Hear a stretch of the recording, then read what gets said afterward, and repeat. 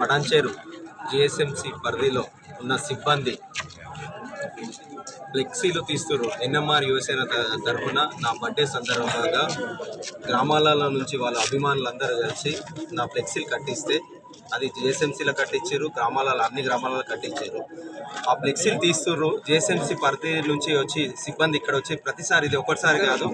మీరు ఇంతకుముందు గతంలో కూడా చూడొచ్చు. శాఖ లైలమ్మ ప్రోగ్రాం పెట్టినప్పుడు అయినా అట్లనే చెప్పారు ప్రో ప్రోగ్రామ్ అయినా తెల్లారే చింపుతుంటారు. మిగతా వాళ్ళు ఫ్లెక్సీలు వాళ్ళ కార్యక్రమం అయినాక నెల రోజులు రెండు నెలలు ఎక్కడ ఉన్నా వాళ్ళది ఇబ్బంది ఉండదు. కానీ ఓన్లీ నీలమ్మదు ఫ్లెక్సీలు ఉంటేనే ఆయన ప్రోగ్రామ్ ఏదైనా అయిపోగానే తెల్లారే తీయడం అనవాయితీ అయింది పడంచర్ కాన్సెన్సీలో మీరు అందరు గమనిస్తున్నారని నాకు తెలుసు. ప్రజలందరూ గమనిస్తారు ప్రజల ఈ ఈ ప్రజలనే వాళ్ళందరికీ సమాధానం చెప్తారు. ఎందుకు తీస్తున్నారు అనేది ప్రజలందరూ తెలుసు.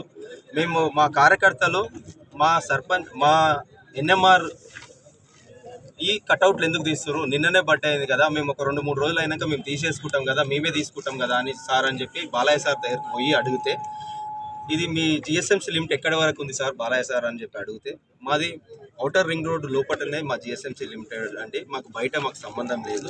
అక్కడ తీయడానికి మాకు హక్కు లేదు అని చెప్పి అక్కడ చెప్పిండు. మరి తీయనికి హక్కు లేనప్పుడు జేసీపీలు పెట్టుకొని మీ సిబ్బంది వచ్చి ఈ ఫ్లెక్సీలు ఎందుకు తీస్తారు మరి యాభై ఐదు గ్రామ పంచాయతీ పంచాయతీలో ఉన్న సర్పంచులు లేమా? ఉప సర్పంచులు లేరా? వార్డ్ మెంబర్ లేరా? ఎగ్జిక్యూటివ్ ఆఫీసర్స్ లేరా? మున్సిపాల్ మున్సిపాలిటీలు లేవా?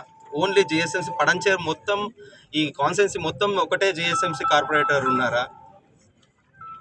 అంటే అర్థం చేసుకోండి ఇంత నియంత్రణ ఎందుకు చేస్తారు మళ్ళను బాలయ్య గారు ఇది ఒక్కసారి కాదు రెండు సార్లు కాదు ఇట్లా పది సార్లు చేస్తారు మీకు అంత వ్యక్తిగతంగా ఏమైనా ఉంటే మాకు నోటీస్ ఇవ్వండి సార్ మీరు ఇట్లా ఇట్లా ఇబ్బంది అవుతుంది ఇక్కడ కట్అవుట్లు కట్టకండి మీరు ఇంకోసారి కట్టకండి అని చెప్పి ఒక నోటీస్ ఇస్తే మేము దాన్ని కట్టుబడి ఉంటాం.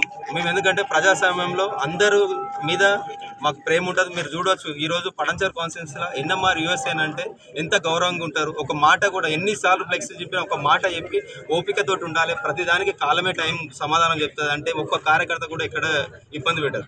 కానీ ఈరోజు పార్టీలకు కులాలకు అతీతంగా పోలీస్ వ్యవస్థ ఉంది. అంత గొప్పగా చేసిండు కాబట్టి ముఖ్యమంత్రి సార్ను ఇట్లా మేము చూస్తున్నాం. ఆయన ఆదర్శంగా తీసుకొని పని చేస్తున్నాం. ఇట్లా ఒక్కరికి నియంత్రణగా ఉండి మా మీద మా కార్యకర్తల మీద కేసులు పెట్టడం ఇలాంటి చేయొద్దు సార్ అని రిక్వెస్ట్ చేస్తున్నా. ఇది మేము మా ప్రార్థన మీ మీద ఎలాంటి కోపం లేదు ఏం లేదు. ఎందుకంటే కార్యకర్తల జోలికి రావద్దు. రేపు రేపు ఈరోజు కార్యకర్తలు ఒక్కరి దగ్గరికి వస్తావు ఒక పది మంది దగ్గరికి వస్తావు. అన్యాయంగా కేసులు పెట్టవద్దు మేము వేరే పార్టీలో లేమండి. బీఆర్ఎస్ పార్టీలు ఉన్నాం. మా ముఖ్యమంత్రి చేసే సంక్షేమ పథకాలు మా కేసీఆర్ సార్ చేసే సంక్షేమ పథకాలు ఫ్లెక్సీలు పెట్టుకుంటాం. అది అది తప్ప అండి. ఇంత అంత గొప్ప నాయకులను కటౌట్లు పెట్టుకోవడం మాకు తప్ప. ఇంతగానం ఎందుకు మా మీద ఇంత కక్ష మీరు? ఇంకోసారి మా జోలికి మా కార్యకర్తల జోలికి మా ఫ్లెక్సీల జోలికి వస్తే ఊరుకోము.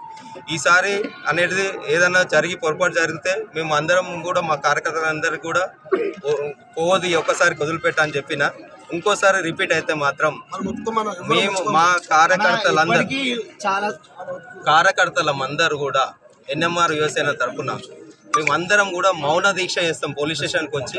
ఒక నీలం మధు ఫ్లెక్సీలు చింపితే ఒక మౌన దీక్ష మేము ఏం చేయం పోలీస్ స్టేషన్ కాడ వచ్చి మౌనం పాటిస్తాం. మీరు చెప్పండి ఆ ప్రజలకు మీ సమాధానం ఇవ్వండి. ఆ మౌనానికి సమాధానం మీరు చెప్పాలి. ఎందుకు వస్తుర్రు?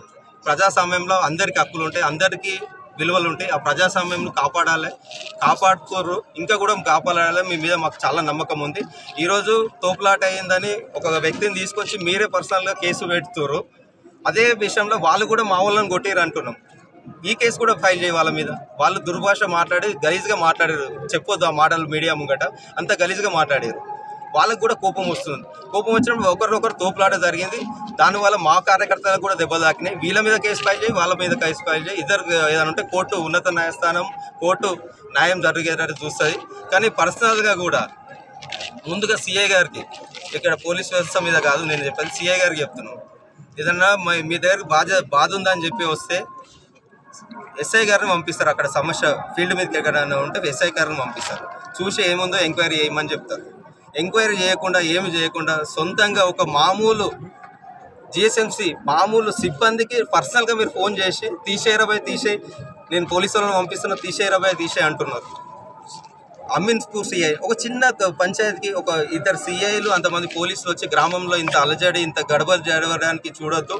ఎందుకంటే ప్రజాస్వామ్యంలో ప్రతి ఒక్కరికి హక్కు ఉంది. ప్రతి ఒక్కరికి న్యాయం అందరికీ సమానం చూడాలని బాబాసాహెబ్ అంబేద్కర్ గారు అందరి గురించి రాజ్యాంగం రాశారు. ఆయన విలువలు కా చూసుకుంటేనే మేము ఈరోజు ఈ రోజు కూడా తెలంగాణను కూడా ఆ విలువల గురించి అంబేద్కర్ సార్ స్ఫూర్తి తీసుకొని మా ముఖ్యమంత్రి సార్ తీసుకొని ఈ తెలంగాణ సాధించడం. దేశ రాజకీయాలలో కూడా వెళ్తున్నాం అంత గొప్ప నాయకుని వెంబడి నడుస్తున్నాం. మేము కూడా కేసీఆర్ సార్ లేకనే విలువల గురించే ఫైట్ చేస్తాం. మా విలువలు మేము కాపాడుకుంటాం. కార్యకర్తల జోలికి ఇంకోసారి రావద్దు.